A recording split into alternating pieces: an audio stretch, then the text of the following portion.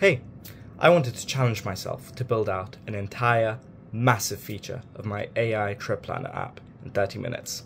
Do you think it's possible? I recently added the ability to text myself my whole trip itinerary using an AI generated summary. It looks over the events, hotels, and travel on my holiday and texts it to me using Twilio. First, let's take a look under the hood of my app and the feature itself. Backing the trip planner are four object types we have trips, events, accommodation, and travel. Each trip has hard ontology links to the events, accommodation, and travel. We also have various actions backing my app. Every time I press a button, it kicks off one of these actions, looking at how I can create, modify, or delete different trip activity. Let's look into the send itinerary text action. It uses a function, just some simple TypeScript code, and calls an AIP logic block. This is 100% no code. It uses an LLM to look over the events, hotels, and travel on my holiday to generate a summary. Finally, this uses a webhook to text myself the summary. This is a massive feature with both backend and front end changes. Do you think I can do this in 30 minutes? If you want to give it a try, head on over to build.palantir.com and sign up. We have our timer set. I am kind of nervous. Boom. Okay, first things first, I am going to just put the button here in my front end as a placeholder. I'll call it text itinerary. So if I go to view mode, there we go. It's right there. Perfect. Great. Now I need to create a webhook. So I'm going to go to data connections, create a REST API connection to Twilio. API, boom. I've already got a Twilio account set up and I've tested this. Please don't take my credentials. I've already set up an egress policy. It takes like 30 seconds if you're doing this from scratch. Create a new webhook. So we've we've created the base connection. So auth, we've already got auth set up from doing the REST API. So this will be a post. So we'll we'll just do this in the body.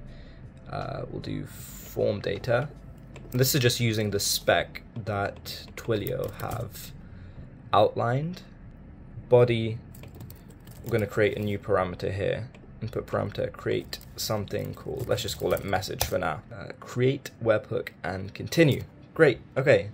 Does this work? I have my SIM card in here set up. Go to build.palantir.com. Test webhook. Does this actually work?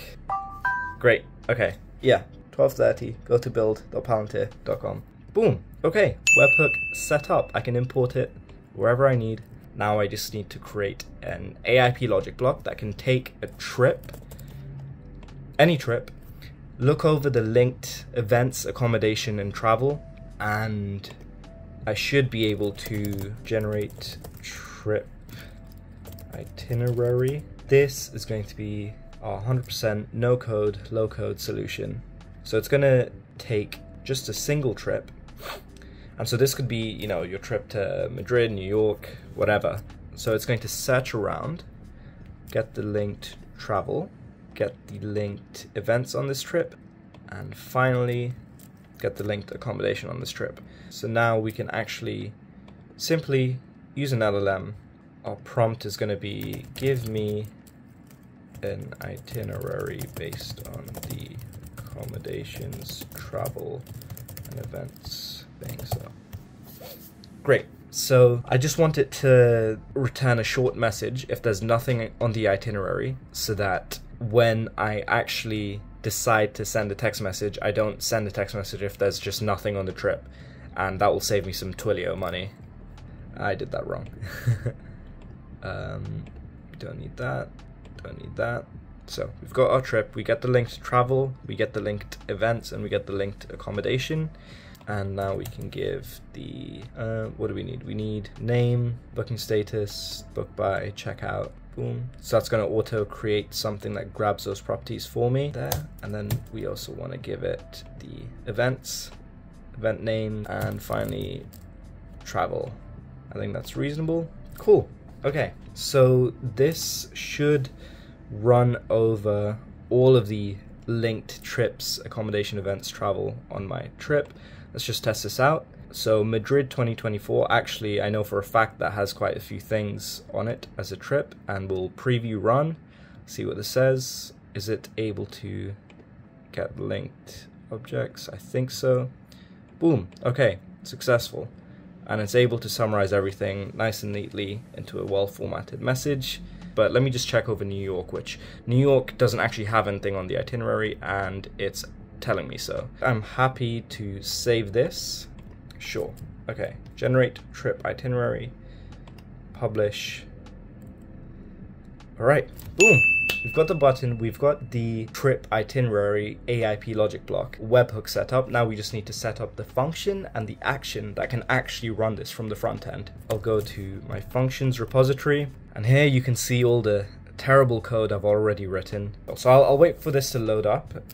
We do get the ability to live preview the functions that I write and first things first, I do need to import the things that I've just made. So generate trip itinerary. I'm just blind, I didn't see that before. So I should be able to import this. Boom. I just want to import the webhook that I made earlier. So, but this should import right there. Perfect. So now it's just a matter of gluing the AIP logic function together with the ability to actually send the text message. First, we'll actually just generate the message itself. So we'll say message equals Let's assign this to the trip that we have in the input. So if the length is less than 50, then we just want to return um, did not send message. Can we try this out? Select Madrid 2024.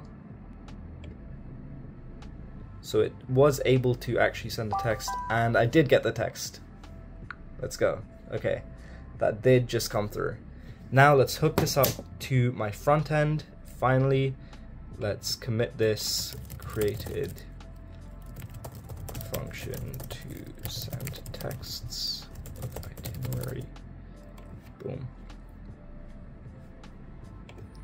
Tag this up to a new release.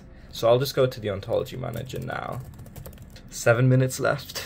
Can we do this? I just need to create a new action type that goes ahead and calls that function. I can then put that action in my front end. All right, boom, ready. Function has been published and created. We've tested it. Create a new action that calls this function. Itinerary text.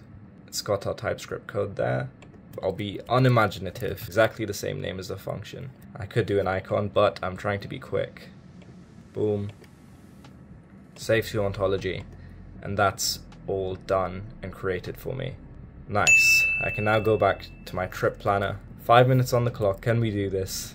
On click, I want it to call that action. So I'll search for here. Send itinerary text action. That, that's what I called it. We already have the selected trip variable, which is an output from this drop down widget here. Selected trip. Okay, Perfect. I'm just going to save and publish this because I feel confident. 4 minutes 40 left on the clock. I press the button. Will it work? Will it send the action? Can we do it? And there we go. It just sent 1254. Boom. Done. And actually, I'm just going to make a minor change. Can we have it appear with the logic of what's happening on the screen. So this is going to show live runs of generate trip itinerary. So on start of action submission, I want it to open the itinerary generation panel on the right. So it shows me what's going on, what the thinking is behind that AIP logic function that I made. I'm gonna try that one more time just for good luck. So I press a button and it should open up with this panel with the itinerary that's been made and boom. Okay, does it text it? Yes, it does. I think we can say we're done. We did everything. Two minutes left on the clock. Okay, there we go. If you want to try this out yourself, head on over to build.palantir.com, sign up, get your own dev stack. I do want this to be available soon, so you can mess around with my trip planner. But till then, get building, good luck. Enjoy. Have a good one.